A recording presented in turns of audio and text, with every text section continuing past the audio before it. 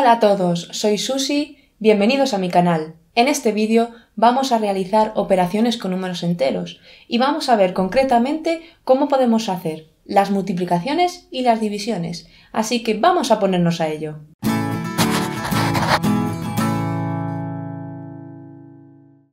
Aquí tenéis en la pizarra la ley de los signos para multiplicar y dividir.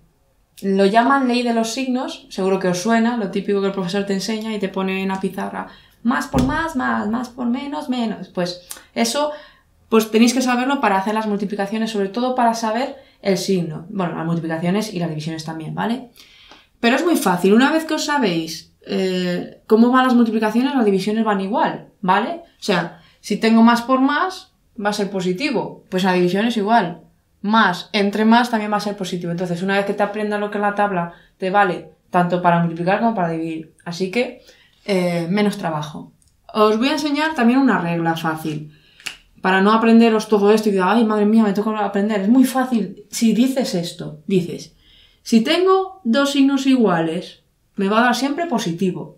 Dos signos iguales, positivo. Pues a signos iguales, de resultado positivo, como veis y a signos distintos, resultado negativo. Y ya está, no hace falta aprender de todo esto. Así que así podéis ver lo fácil que es, ¿vale? Bueno, vamos con algunos ejemplos y vamos a practicar esta ley. Más 2 por más 4, tenemos dos signos iguales. Entonces, ¿qué signo predomina? El positivo. Uy, qué mal.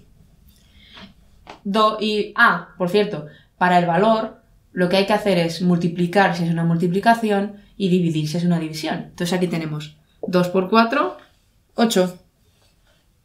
Os he puesto el mismo ejemplo pero cambiándole los signos, ¿vale? Menos 2 por menos 4. ¿Hay signos iguales? Sí, pues ponemos el más. Y ahora para el valor multiplicamos 2 por 4, 8. Anda, mira, da lo mismo, ¿veis? Y aquí tenemos más 2 por menos 4 tenemos signos distintos. Hemos dicho que a signos distintos hay que poner negativo. Pues venga.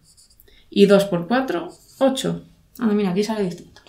Vamos a hacer ahora algunas divisiones, ¿vale? Para que veáis que eh, sigue el mismo proceso. Eh, tenemos más 16 entre menos 4. Son signos distintos a signos distintos, negativo. Y el valor es la división. Pues 16 entre 4, 4. Vamos a hacer este menos 16 entre menos 4. Tenemos signos iguales. A signos iguales ponemos positivo. Y dividimos 16 entre 4, 4. Y ya el último ejemplo, menos 16 entre más 4, tenemos signos distintos. A signos distintos ponemos negativo, ¿veis qué fácil? Y dividimos los valores 16 entre 4. Como veis, es mucho más sencillo de lo que aparentemente nos puede resultar cuando nos presentan de repente esa tabla o esa ley de los signos. Así que ánimo, practicarlo mucho ya veréis que enseguida pilláis el truco. Espero que este vídeo os haya ayudado y que os haya gustado.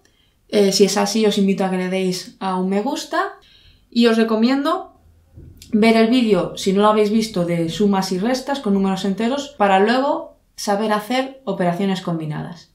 Chicos, mucho ánimo con las matemáticas, aprended mucho, practicad mucho y nos vemos en la próxima.